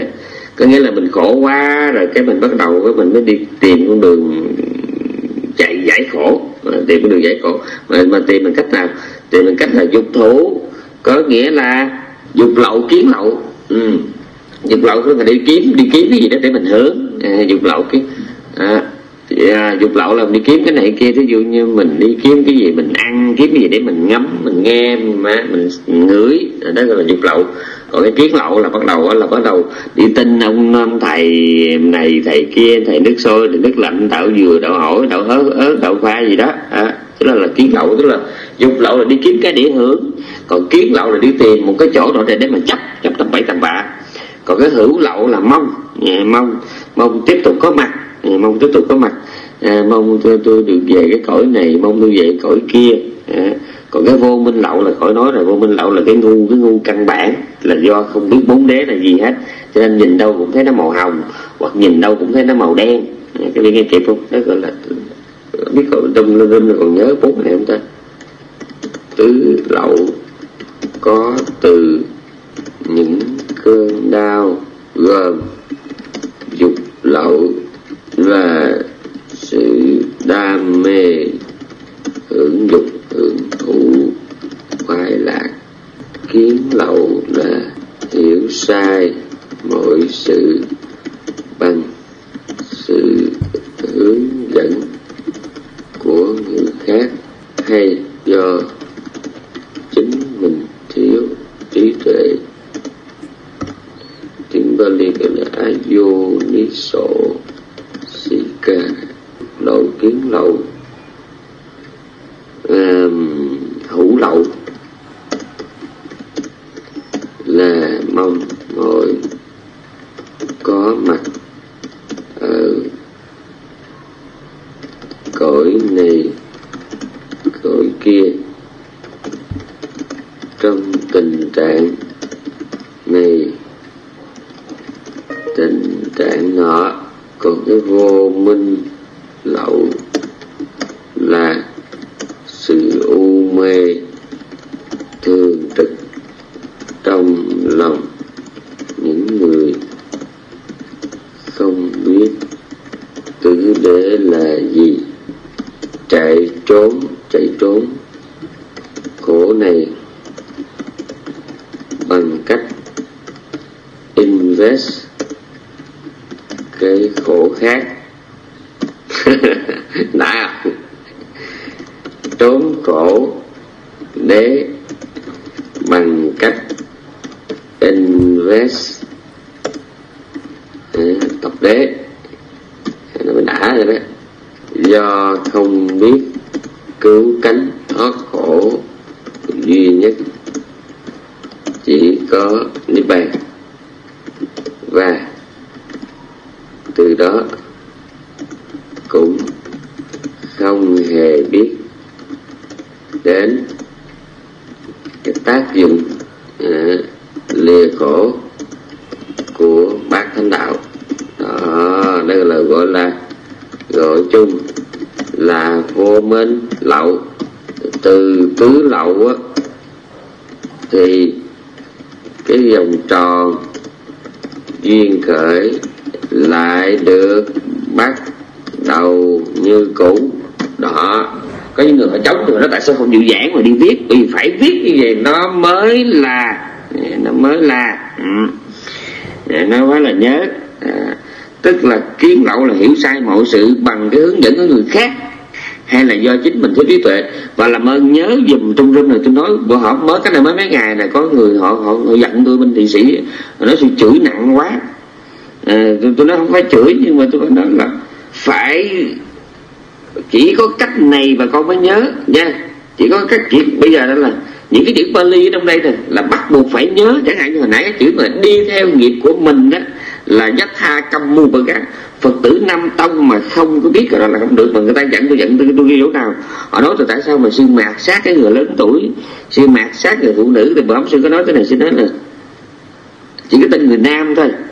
Hoặc là nếu mà còn rồi thêm đó là chỉ có người dưới 50 tuổi thôi. Đúng. Bởi vì những cái này là nếu mà mình là người nữ mà mình chịu nhớ là quá tốt. Người ta nói như vậy thôi mà nếu mình nhớ là quá tốt. Thứ hai nếu mình đã trên 50 tuổi rồi mà mình vẫn nhớ được cái này thì quả tốt. Ở đây là những chữ rất là quan trọng. Tôi phải nhấn mạnh là rất là quan trọng. Cái chữ parakosa này rất là quan trọng là vì sao?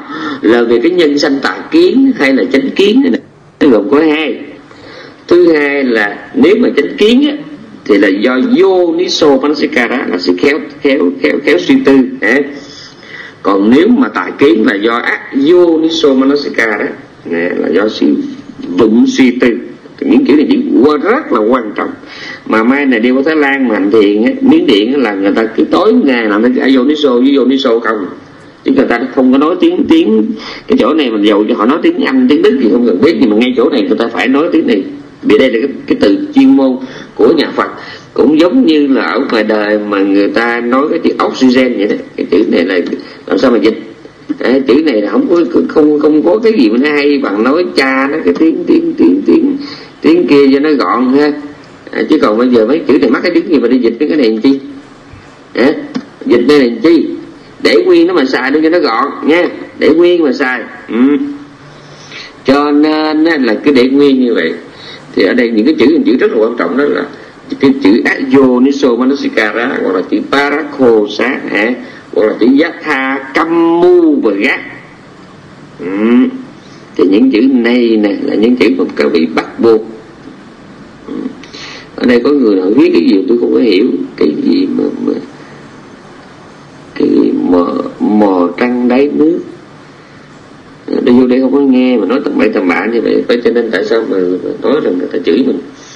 Nó nó nó nó không có phước, nó không có duyên, nó không có duyên. Ờ, đi vô trong một cái đạo tràng mà ừ, chỉ có bất thiện thôi. Ừ, mà tôi nhìn các vị tôi mới tin là trên đời này nó có nhiều cảnh giới. Tôi nhìn mấy người này tôi mới tin trên đời nó nhiều cảnh giới. Ok, bây giờ đã là trẻ lắm rồi nha. Bây giờ là đã 7 giờ 20 tôi đã giảng tất cả là 6 bài kinh sáng nay nha. 6 bài kinh. Dạ, nha, 6 bài kinh. Trong đó là hai phải phải ba bài chứ? Ba bài xác định à, mọi sự không của ai. Kỹ tôi viết sao nó không ra thế ba bài xác định mọi sự không của ai. Chỉ do duyên tạo à, rồi ba bài ờ, thu ngắn, lý duyên khởi, nhấn mạnh vai trò của tâm sở tư. Chitana đó. Cái đó quan trọng lắm, cái này quan trọng nha, cái này là quan trọng. Nhớ, nói 12 duyên khởi, nhưng mà trong trường hợp này thì ngài chỉ nói cái Chetana thì ngài nói là đời sống này chỉ có cái Chetana mình có sống bằng cái dụng ý gì? Đấy. mình có mặt trong rung này với cái dụng ý gì? Đó mình có mặt ở trên ở ngoài chợ cái chỗ bán cái tiệm đó với dụng ý gì? Mình có mặt ở trong chùa với cái dụng ý gì? À, mà tại sao mình sử dụng những món đồ này? Mình tại sao mình xài cái kiểu đồ này mình không xài cái kiểu đồ khác? Thì cái đó là dụng ý gì? Toàn bộ đời sống mình nó là một cái hành trình của những dụng ý nhé ừ, những dụng ý. Thiện hay bất thiện à, cao hay là thấp. Chỉ có những dụng ý mà nó có cái ý nghĩa là giúp cho mình tu hành tốt hơn. Nhưng có những dụng ý nó làm cho mình tệ hơn mình kém hơn. Nhớ nha. Ừ. Rồi ngay ở trong cái thiện nó cũng có nhiều cấp thiện hợp trí và thiện ly trí. Mà nếu mà nói mình cái thiện chetana này mà nói cho nó tới nơi tới chốn thì nói tới tết cũng chưa có hết. Bởi vì cái thiện cái cái cái, cái dụng ý bất thiện thì quý vị hiểu rồi à, có nghĩa là cái dụng ý mà do tham tác động này do sân tác động này. À, si thì luôn luôn có mặt nha si thì luôn luôn có mặt. Nhưng đại khái là có những dụng ý do tham tác động. Có những người họ hành động là do họ thích cái gì đó. Có những cái hành động là do mình ghét cái gì đó mình muốn chạy trốn cái gì đó. Mình muốn phủ nhận mình muốn xóa nhòa cái gì đó. Yeah. trong trong trong cái hành động trong cái kiểu sống của mình nó có cái đó. Là có những cái lúc mình có cái dụng ý là sân có những cái dụng ý do tham. Rồi trong thiện cũng vậy có những cái thiện mà được xem thiện nào cũng là dụng ý hết nhưng mà có những cái dụng ý có trí tuệ của những dụng ý không có trí tuệ. Đó. Thì từ chỗ này nó mới dẫn đến cái dòng luân hồi mình sinh ra. Cũng mang tiếng làm người như nhau à, nhưng mà à, nhưng mà nhưng mà à, nhưng mà cái cái, cái kiểu thông minh nó không giống nhau. À, có người thì thôi bằng cấp cả túi gì đó. Nhưng mà học đạo học không mới hiểu. Có những người không có cái gì hết, mà giảng cho họ nghe sướng lắm. Nổi chẳng hạn như tôi nhớ có bữa tôi nói, ngay cả cái thiện cũng là cái đáng sợ. Trong cái nhìn một bậc thánh, thì có nhiều người phật tử họ nghe này họ chịu không nổi. Họ nói là mình đi tu là phải làm lành lắm dữ, mà tại sao bữa nay đó sư thể phán một câu là ngay cả cái thiện đó, nó cũng là cái đáng sợ. Có nhiều người họ chịu đó, không nổi. Mà chỉ nó rất bình thường thôi, chỉ nó rất bình thường là trong một trường hợp đặc biệt nào đó thì người ta nói cho mình nghe như vậy đó. À, tức là ba cõi luân hồi dục sắc vô sắc ha? Thì cái, cái nghiệp bất thiện ấy thì nó đưa mình đi xuống mà cái nghiệp thiện thì đưa mình đi lên. Nhưng mà dầu đi lên thì cũng là trong ngôi nhà đang cháy. Cho nên cái tốt nhất tu qua la mặt thì phải làm làm thiện đúng. Nhưng mà luôn luôn nhớ rằng hãy ngày nào mà còn có cái thiện cái ác là ngày nó còn có luân hồi tôi hôm nay tôi làm thiện tôi lánh ác nhưng mà tôi nguyện là đời sau đừng thiện đừng ác nữa. Phải như vậy. Chứ còn mà mơ hãy còn thích cái thiện có nghĩa là còn thích cái cái cái, cái sung sướng hạnh phúc. Mà hãy còn thích cái sung sướng hạnh phúc là còn quẩn quanh trong đây. Cho nên hôm nay phật tử làm thiện để cầu mai sao mình không còn thiện ác nữa. Đó, cái vấn đề nằm chỗ đó. Vì ác đưa mình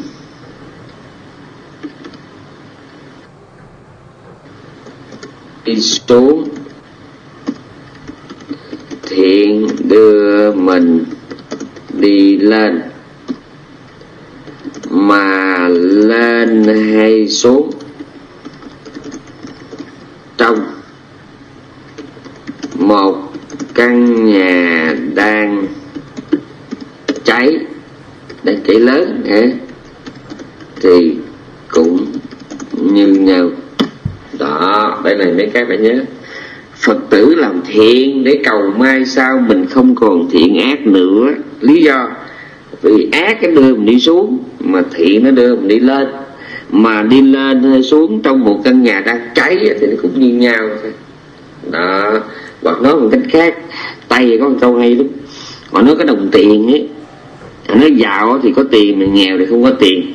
Mà trong khi cái già cái đồng tiền nó không thể đem lại cho mình cái hạnh phúc. Có một điều đó, là nó có thể cho mình có quyền chọn lựa kiểu đau khổ.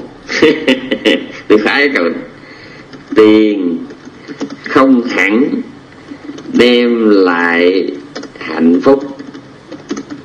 Nhưng nó cho ta cái quyền lựa chọn kiểu đau khổ. À, thì thiện nghiệp cũng vậy. Thay vì khổ trong địa ngục khổ trong cảnh nghèo, khó, bệnh hoạn, cô đơn. Thì thiện nghiệp cho ta chịu khổ trong hình hài một người có tiền, có trí, có quyền dù cuối cùng thì ai cũng chết như nhau.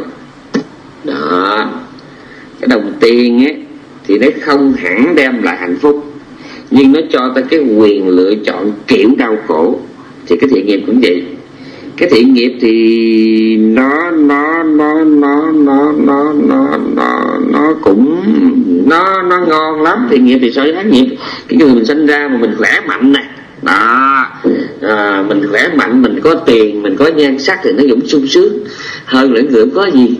Nhưng mà hãy nhớ và trong một ngôi nhà đang cháy thì sớm muộn rồi thì nó cũng kết thúc như nhau. Và tôi nói rồi tôi đã thấy rồi tôi đã thấy rồi tôi đã thấy những người mà cái đời quá khứ của họ cái kiếp cái cái cái, cái quãng đời quá khứ của họ đó là quy hoàng. À, tôi tôi tôi thì cũng vì cái lòng tôn trọng thì tôi không có dám nói tên chị đó ra. Nhưng mà đại khái là tôi biết cái Việt Nam có một cái gia đình đó là có những ba mẹ con là có một cái quá khứ rất là quy hoàng. Mà trước cái quy hoàng nó rất là đáng buồn đó. mà từ việc miên ấy, mà họ chạy về Việt Nam miên là một quá khứ đáng buồn họ chạy về Việt Nam đó. họ có một cái một cái quãng đời rất là huy hoàng rồi sau đó nó kết thúc rất là buồn rất là buồn và nó kết thúc rất là buồn tôi nhìn tôi thấy nó giống như một cái trò hè một cái vở tuồng một cái vở kịch vậy đó yeah. nó nó thê thảm lắm quý vị nó buồn lắm và phải nói tôi nói một lần cuối cùng trước khi tôi tôi đóng trong bữa nay đó là chỉ cần sáng ngày ngủ dậy mà mình không điều khiển được cái tay cái chân của mình là xong nha. Làm ơn đừng có nói với tôi là có vợ có chồng có con có cái. Tôi đã thấy rồi tôi đã thấy rồi.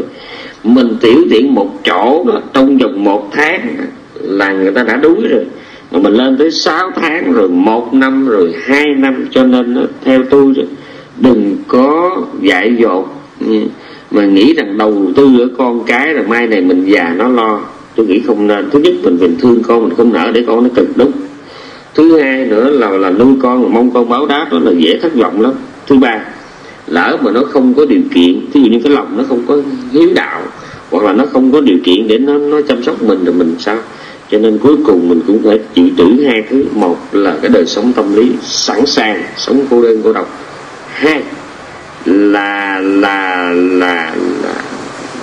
Nếu mà mình dự trữ được một ít tài sản để ngừa để ngừa khi mà mà có cái gì đó thì mình có tiền trong túi người ta sẽ chịu khó người ta nuôi nha.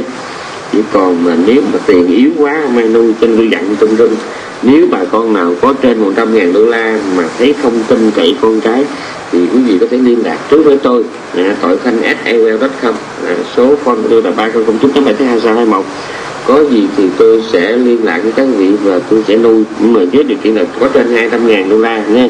Chứ còn cái kiểu này khờ khờ mà đem giao hết cho con rồi tưởng con nó thương mình thì tôi nói báo trước nha. Tin buồn nha. Tin buồn nha. Đừng bao giờ vậy. Có nhiều người họ suy nghĩ như vậy đó. Nghĩ là đưa hết cho con con nó lo, thông cảm đi. Đi ngủ đi. Con trai của mình nó nó sẽ là nghe lời vợ của nó con gái của mình nó sẽ nghe lời chồng của nó và đằng sau chồng đằng sau vợ của nó luôn luôn túc trực ba trăm hai chục quân sinh vật mo nằm đằng sau. Cho nên mình dạy dỗ mình đưa tiền cho con mình tưởng nó sẽ thương mình để rồi nó lo cho mình. Cái đó là một suy nghĩ mà phải nói là không thể nào mà nó dở hơn nha. Cứ gửi về nhà băng. À, còn không nó cứ cao lô cho tôi đến số phone tôi cho rồi. Ok. Xin hẹn lại quý vị vào à, ngày thứ năm. Ở thứ thứ năm phải không ta? Thứ năm đúng rồi, thứ năm. Vậy đó. không ai hỏi gì hết. Ok. Không ai hỏi gì hết. Ok. Không ai hỏi gì hết. Ok. Không ai hỏi gì hết. Ok. Không ai hỏi gì hết. Ok. Không ai hỏi gì hết. Ok. Không ai hỏi gì hết. Ok. Không ai hỏi gì hết. Ok. Không ai hỏi gì hết ok. Không ai hỏi gì hết.